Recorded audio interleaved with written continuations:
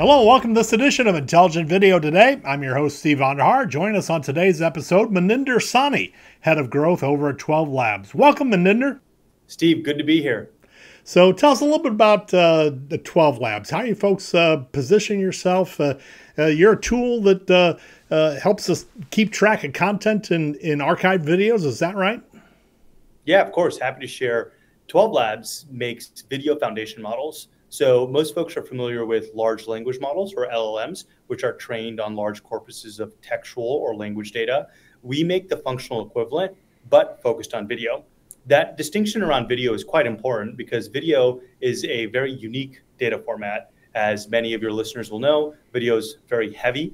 Uh, implicit within video is a whole lot of information across the various modalities audio, visual, and very crucially, the spatial temporal relationships that exist within video.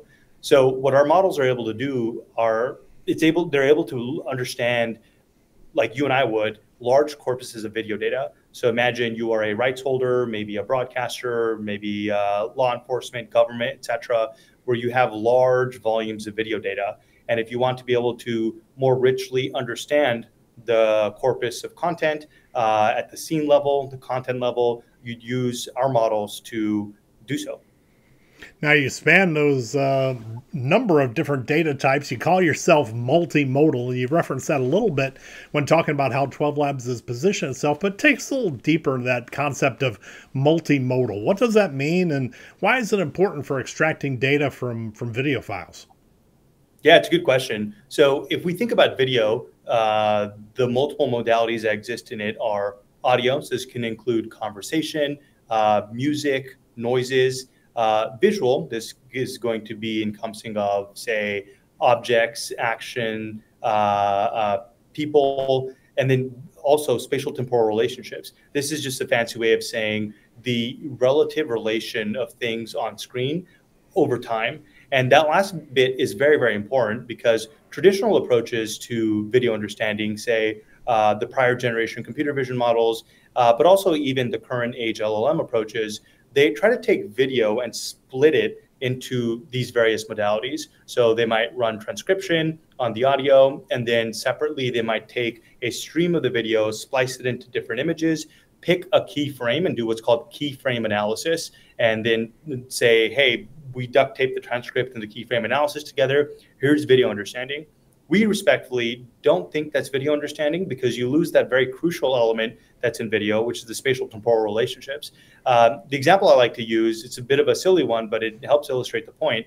Say your computer vision model picks a key frame of someone holding a doorknob if you wanted to answer the simple question of is the door opening or closing, you wouldn't be able to do so with keyframe analysis because you're missing the spatial temporal relationship. Now that's silly to you and I because we see a door closing, we know it's closing based on the relative movement of it, but that is an example of how our model is able to be more effective when it comes to video understanding. Does that make sense? It absolutely does make sense. And uh, uh, I guess with this multimodal approach, do we see any difference in the video search results based on the um, the, the the resolution of the videos themselves? Uh, can this type of approach be applied to any legacy content out there? Absolutely. So, to your question about does resolution make a difference? Uh, our models are able to take video on the low end 360p and on the high end uh, 4K, so studio quality footage and it is agnostic of the resolution, both in terms of uh, the model performance, but also in terms of the cost. And that second component is very, very important. Um, the second component is where some of the traditional approaches trip up, and also the current age LLM approaches just become too cost prohibitive. You couldn't scale uh, the LLM application to, say, studio length video because uh, as your resolution increases, the cost of running the LLM approach increases our models comparatively are agnostic of the resolution. And so whether you have uh, the 360p footage from, say, grainy CCTVs, or you have studio quality 4K, uh, the cost of indexing that video content will be the same. Our models are based on the consumption of video indexing. So you'd get charged based on the hours of video content, not the resolution of the video content. Does that answer your question? Absolutely. So, uh, how can uh, video publishers go about using this type of video search? What kind of value can uh, this solution deliver for content creators? Yeah, there are a multitude of applications. So we focus on providing the best video understanding models and we make them accessible to developers and enterprises via our APIs. So we're not in the business of trying to sell you an end application. We want you and your editorial team, your production teams, et cetera, to continue using the tools you already know and enjoy using and keep your workflows. We just want to be able to slot in to those existing applications via the API uh, and bring this functionality of video understanding uh, to whatever use case there could be. And so that's very high level and vague. So I'll go into some specifics of how our models could be used. Um, so one of our clients is a uh, major American sports league, and they use us in an editorial capacity. Say for any given game, there are hours of pre-game analysis, the broadcast footage, multiple camera angles, post-game interviews, etc. Traditionally, you would do a tagging exercise. There's a bounded taxonomy uh, that takes time, money. There are errors, false positive, false negatives for various tags. And then you would be able to use some sort of rudimentary search capability to find the moments that matter. Now, with our models, those editorial teams are able to do what's called semantic search for the moments that matter over the course of any sort of uh, game, uh, broadcast footage, etc. And instead of waiting on the manual tagging approach, they're able to do much richer searches and then accelerate their packaging and distribution processes, say for local broadcasters, for social teams, marketing teams, etc. Now, I hear that you're also uh, finding some traction with automotive manufacturers. Can you tell us a little bit about that use case? Sure thing. So, if you think about automotive uh, OEMs, there are a lot of video-based workflows. I know in, in the M&E world uh, that might sound a little foreign, but if we think about autonomous driving use cases, uh, many of them are very camera-driven.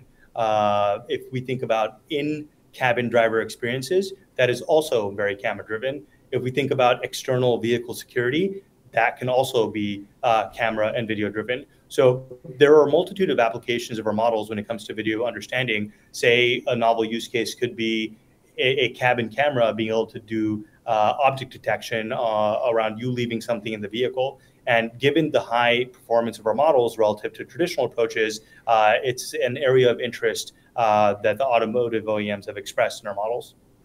Now, at Intellivid Research, we see broader uses for video within the uh, AI enterprise. Matter of fact, we see the future of a kind of a virtuous cycle of video adoption that uh, video will feed data into the private data sets. You'll generate more value from that data, encouraging folks to use video more and more over time, really being a rising tide that lifts the video boat, so to speak. Uh, uh, but it's going to take a lot for that to happen. What do you think it's going to uh, take within the marketplace to transform that vision for uh, video data management into a true market opportunity for 12 Labs?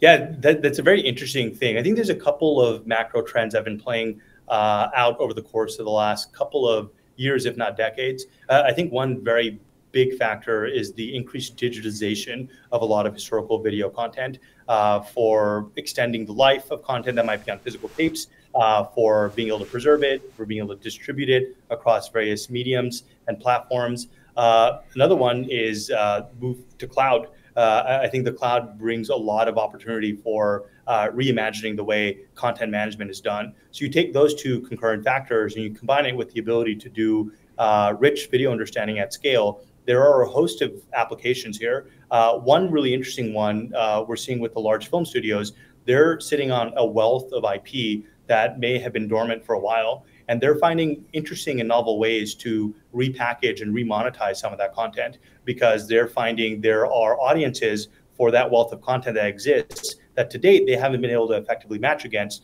But with something like our models, you can do more effective, say, contextual advertising at the scene level. You could have a better understanding of the overall corpus of content. Um, so it really accelerates a lot of workflows that studios or any organization that owns a lot of this video data may be thinking about already. But our models make it so that it becomes feasible and also cost effective to do so. So, what's on the near-term product roadmap for 12 Labs? What are what do you got working in the lab that we should be looking out for? Yeah, so uh, I, I want to plug here that folks should go check out our website at 12labs.io. Uh, our model playground is free to sign up for, and folks get 10 hours of free uh, indexed content. So you can upload some of your own video content and see how well it works across our semantic search and retrieval functionality, but also our video to text generation, where you can do highlight creation, chapterization, uh, uh, text descriptions of content at the scene level, etc.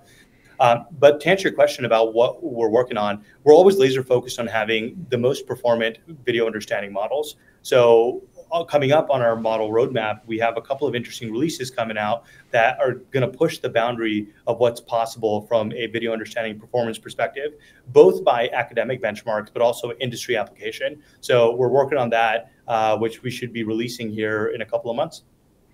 That's awesome. So, uh, at Intellivid Research, we're kind of excited about this uh, conference we're going to be having coming up in a couple months in February 2025. We're holding the Intelligent Video Expo in Fort Lauderdale, Florida. Uh, we're going to be bringing together people to talk about business use cases for uh, AI video. Uh, and what what issues do you think we should be talking about at that show when when we finally get get all together down in, in Florida?